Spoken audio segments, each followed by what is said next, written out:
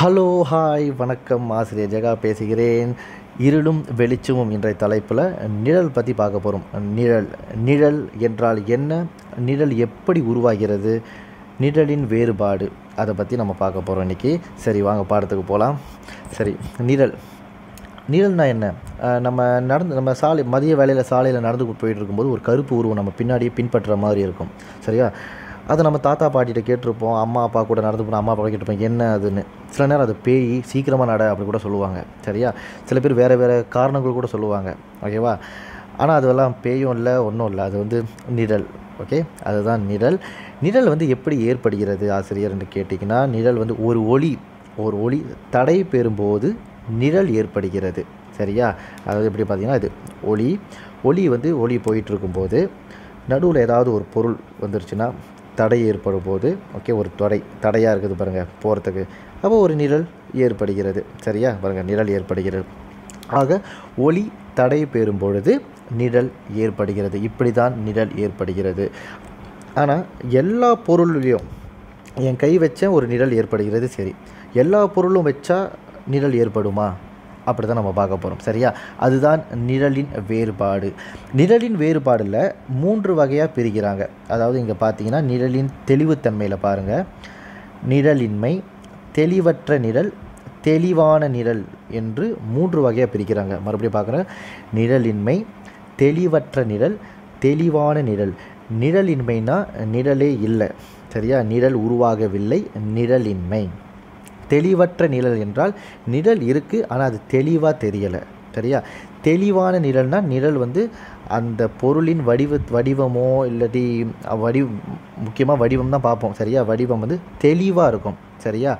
அந்த நிழலை வச்சு அது என்ன பொருள் கூட நம்ம கண்டுபிடிக்கலாம். அந்தளவு தெளிவாக இருக்கும். அதுதான் தெளிவான நி தெளிவான நிழல். நிழலின்மை தெளிவற்ற நிழல். தெளிவான நிழல். இப்படி மூன்று வகையாக பிரிக்கிறாங்க. சரியா? அப்போ எந்த இந்த பொருளில் வந்து எந்தெந்த வகையான பொருளில் நிழலின்மை விழு- நிழலின்மை இருக்கும்? எந்தெந்த பொருளில் வந்து தெளிவற்ற நிழல் ஏற்படும்? எந்தெந்த மாதிரியான பொருளில் தெளிவான நிழல் ஏற்படும் என்பதை நம்ம பார்ப்போம். இப்போ நிழலின் வேறுபாடு. இதோ இதுதான். இதுதான் அந்த நடவடிக்கை. சரியா? அதாவது பொருட்கள் கொடுத்துருக்காங்க. நான்கு வகையான பொருட்கள். ஏஃபோ தாள் அச்சுத்தாள் ஒளி ஊடுருவித்தாள் நெகிழி பொருள். இதற்கான விடையை வந்து ஆசிரியர் சொல்ல போகிறதில்ல ஆனால் அது என்ன சொல்ல வராங்கன்னு மட்டும் சொல்ல போகிறேன் மூன்று வகையாக பொருள் இருக்குது சரியா? ஒளி ஒளி புகா பொருள் ஒளி ஊடுருவி பொருள் குறை ஒளி ஊடுருவி என்று மூன்று வகையாக பிரிக்கலாம். சரியா? பாருங்கள் ஒளி புகா பொருள் குறை ஒளி ஊடுருவி பொருள் ஒளி ஊடுருவி அப்படின்னு மூன்று வகையாக பிரிக்கலாம். ஒளி ஊடுருவி என்றால் என்ன? ஒளி ஊடுருவி பொருள் நீங்கள் பார்த்தீங்கன்னா ஒரு நெகிழித்தாள் நெகிழித்தாள்னா ஒரு பிளாஸ்டிக் பேப்பர் பிளாஸ்டிக் பேப்பர் எடுத்தீங்கன்னு வச்சுக்கோங்க. ஒரு பிளாஸ்டிக் பேப்பர் எடுத்து ஒரு இந்த விளக்க ஒரு ஒளியை அடித்து பார்த்தீங்கன்னா அது ஒளி வந்து அதை ஊடுருவி செல்லும். அதை தாண்டி போகும். ஒளி ஊடுருவி செல்லும். சரியா? அதான் ஒளி ஊடுருவி.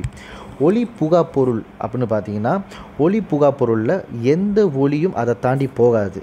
சரியா? ஆங்கிலத்தில் ஒப்பேக் ஆப்ஜெக்ட் சொல்லுவோம். இப்போ நம்ம அதை கை வச்சேன் கை வைக்கும்போது தெளிவான நிழல் வந்து விழுந்தது. சரியா?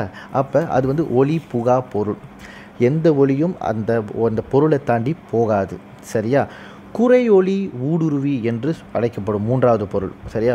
மூன்றாவது வகையான பொருள் குறை ஒளி ஊடுருவி. அதாவது சில ஒளி மட்டும்தான் அதை தாண்டி செ- அதை ஊடுருவி செல்லும். சரியா? எல்லா ஒளியும் ஊடுருவி செல்லாது. சில ஒளி மட்டும்தான் ஊடுருவி செல்லும். அப்படி சில ஒளி மட்டும் ஊடுருவி செல்லும் போது ஒரு தெளிவற்ற நிழல் ஏற்படும்.